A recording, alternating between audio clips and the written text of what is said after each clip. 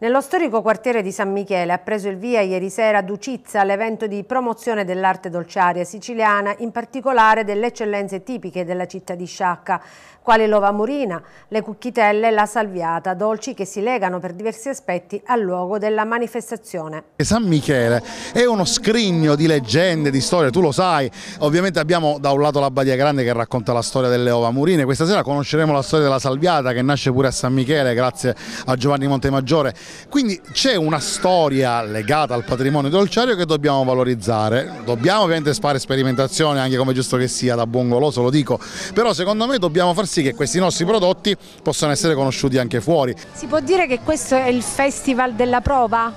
È di lancio perché secondo me va rivisto un po' il periodo, vanno riviste alcune cose, però è già un tentativo per valorizzare la nostra città, valorizzare questo quartiere che si ritrova in festa, siamo a San Michele nelle giornate di San Michele, ma dall'altro lato secondo me dobbiamo valorizzare ancora di più anche il nostro istituto alberghiero. Ducizza ha l'obiettivo di ridare vitalità al quartiere di San Michele con una tre giorni di talk show show cooking, degustazioni e momenti di intrattenimento vario.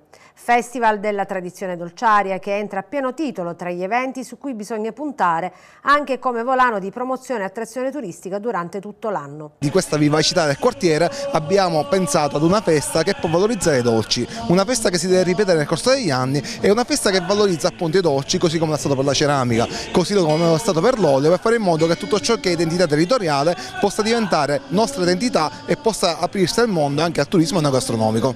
Ieri sera la serata inaugurale di Ducizza con due mostre, una dedicata alla memoria di Emilio Sorci all'interno dei locali della Badia Grande, l'altra quella di Silvia Cottone alla Torre Campanaria.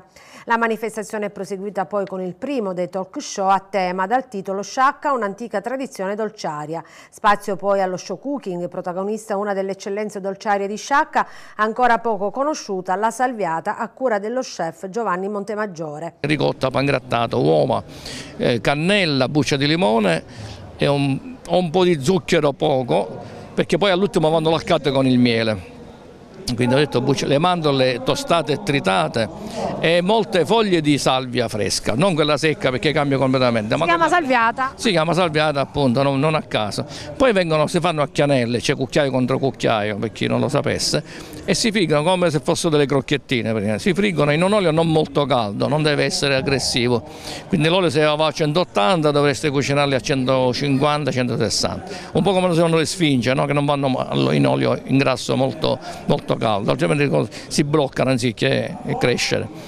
Dopodiché si mettono da parte su una carta assorbente, eh, dopodiché si mettono ancora calde, tiepide su un piatto oppure io ho preso delle barchettine che si presentano pure bene e, e si laccano con del miele, di, di, diciamo di agrumi, di millefiori. Di, miele, sì, sì, un miele, un miele che piacevole.